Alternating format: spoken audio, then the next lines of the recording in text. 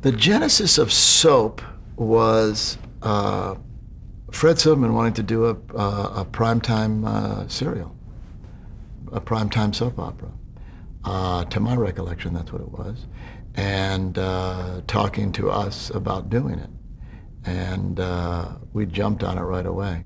It had to have been Fred that wanted to try it. I don't think we would have, I don't recall us thinking of it, to my recollection. Fred was such a champion of soap that uh, he would, it might have might as well have been Witt Thomas Harris Silverman.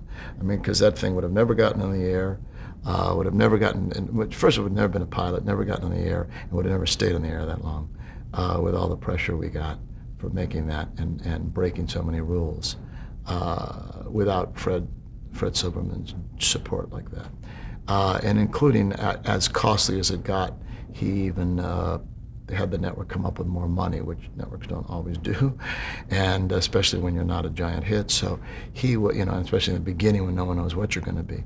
So he was very much behind it. So I, and I, I do believe that it was his notion to, to try to do a, a prime time uh, soap opera. So we got together and uh, and uh, three of us in Susan's kitchen, the days when we were all smoking, I hate to say, and uh, filled ashtrays full of butts and and uh, came up with the Bible of what would be uh, the four years of soap. It was just a free for all in terms of of, uh, of all, the three of us at the table. Once we had the structure of, of the two families, uh, two sisters at the core, and one sister who had married more upper class and one sister had married more middle class, and their lives and the craziness in their families. And, and uh, uh, we just it was what was great about it because there was no beginning, middle, and end, and it was that was a new form for us.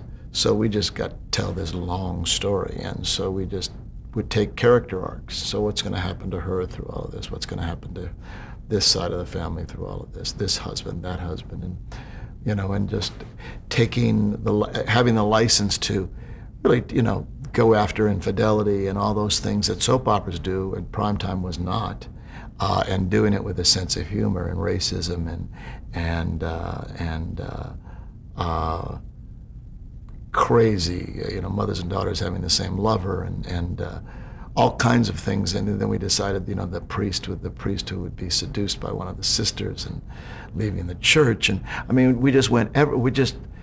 Well, how about if you know, and just, we could say anything or do anything, and it was, and and what came from all of that were these stories and these these character arcs that, that led us down the road. And they changed some, but it was it was fascinating to do. So it was a lot of fun. It was some of the most fun I've ever had.